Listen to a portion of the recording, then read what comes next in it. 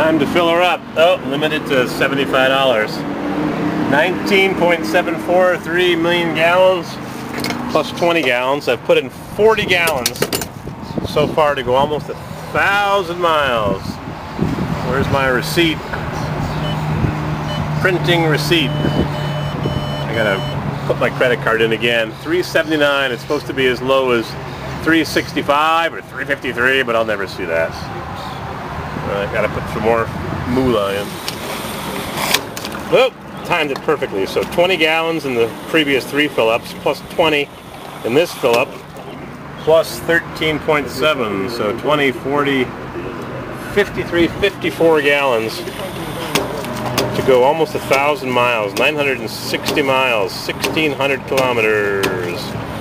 I filled it up at 71,222. Now we're at 72, 185. So 960 something miles. And I could do this and click and click and click forever. But sun's going down. I wanted to get to the little car show with the suds. 14.3. Yeah, this thing takes fuel. Usually 15, 16 miles per gallon. I've gotten as high as 18 in California, if that was accurate. Probably going downhill from San Francisco to Los Angeles the first time I bought it, 18 miles per gallon. Haven't done a thing to it. Just drive it and drive it. Alternator, starter, brake shoes, brake calipers, brake pads, fan belts, paint job at Pisser.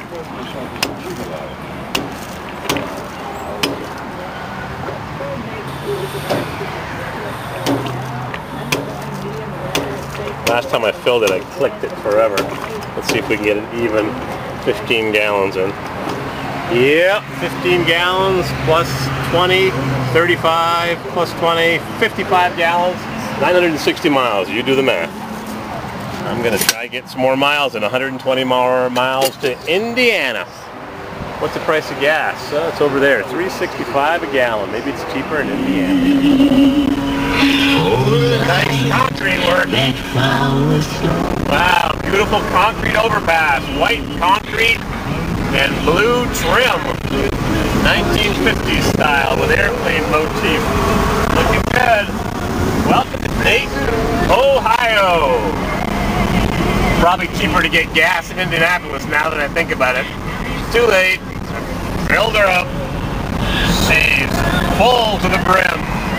17.5 miles per gallon. Not bad for an old piece of junk. Rumble, rumble, Windstar. No Dodge Caravan. Welcome to Dayton, Ohio. Next stop, Indianapolis. 118 miles away. 200 kilometers. Suburban sprawl. Houses in the cornfields. That's what they grow here. Corn and soybean.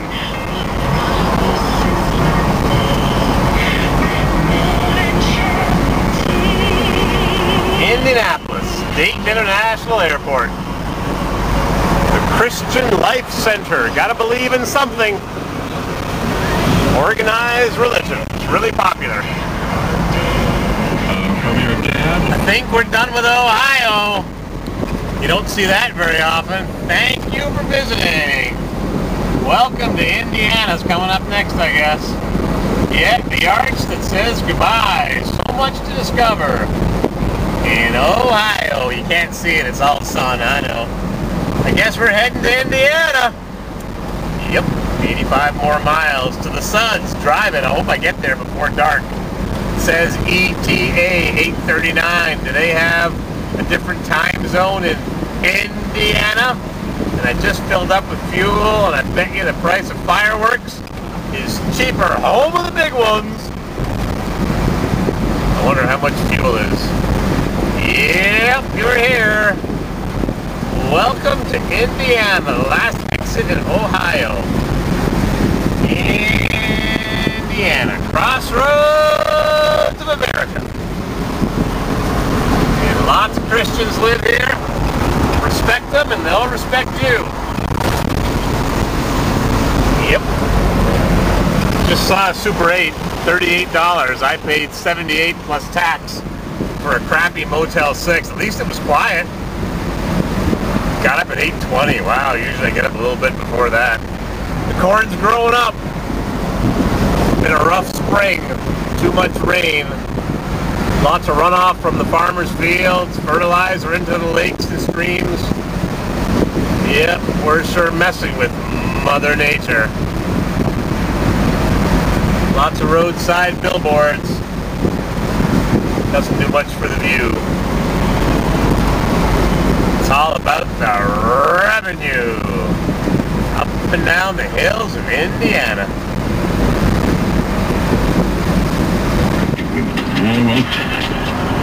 Richmond, a great all-America city. I don't know if you can see that. Dusty and Lefty are on Prairie Home Companion. The roads here are just as bad as anywhere else. Huge potholes, debris on the side of the road. There's no perfection to the new bridge. Probably because the old one was in rough shape. Lots of retaining wall concrete. Nothing lasts forever. 540 BMW. The gentleman is having a good cigarette. Stinking up the interior. Hotels are cheaper than New York, I tell you. Buffalo was 100. Here it's 37 and up for a Super 8. Mm. Yeah, rough roads.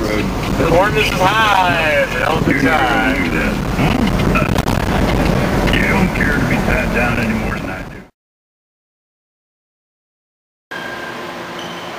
The seal, the state of Indiana. Welcome to Indiana. Where are we? We're over there. There's the whole state. We came in, I guess, uh, Lake Erie, Columbus, Akron. Now we're here and we're going to the other side of Indy, 90 more miles. So let's see if we can get where we're going before the sun goes down. And you gotta go, you gotta go, huh puppy? Oh yeah. Welcome to Wayne County. The sun is shining, the rest area is clean and nicely made and laid out and kept up. Nice big gutters off the roof. There's the trusty Suburban. So far so good. I don't know. Having my problems with 6.5s, aren't I? I guess they're not really related to the design of the 6.5. The bolt got rusty and broke and I got overzealous and drilled right through to the back cylinder almost. Dum diddy dum dum. I wonder what it's going to take to fix that. Guess we'll see once I get that cover off. Welcome to Indiana. Crossroads of America. Roadside problems. Boat problem. Change in the tire. We're almost there. 10 miles to go. My satellite radio died a long time ago. Be nice to have digital radio, not satellite radio. Digital radio. You stay on the same station the whole trip. Satellite radio is nice. Mine had a power cord problem and it just died. I changed the fuse, I put a piece of wire in, and I got no stinking satellite radio. I pay 16 or 18 dollars a month and I never use it. Now I try to use it, it's dead. Black, three-quarter ton GMC. Where are we going? We're going to Suds Drive-In. They're supposed to have a car show tonight. I hope.